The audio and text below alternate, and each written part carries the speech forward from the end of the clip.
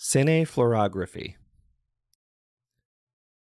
Another method of recording the image on the output screen of the image intensifier uses a modified conventional movie camera, which is substituted for the film camera.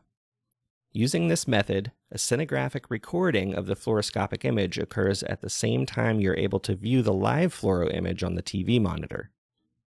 Its major applications have been primarily in cardiac cath lab and interventional radiography, for which 16 or 35 millimeter film is typically used, though 70 millimeter film is also available.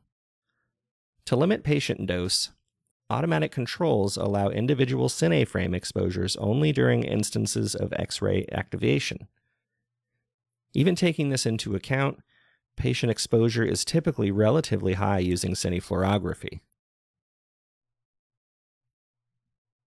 Synchronization is the operation of the camera shutters at the same frequency as the X-ray pulses at the generator. X-ray production can be synchronized so that there is no exposure made while cinefilm is being transported from frame to frame. When we talk about framing frequency, this is the number of frames per second, or FPS, and is usually in divisions of 60.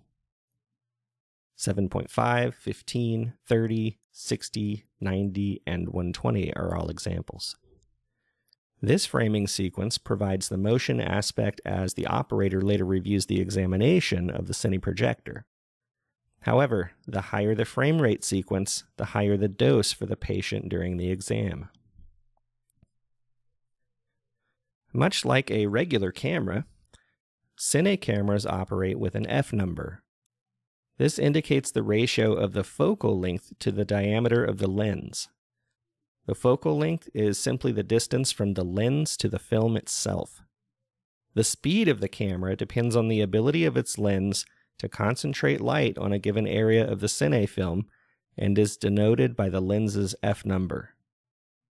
The higher the f number, the less light is available to form the image on the cine film, and more radiation is required.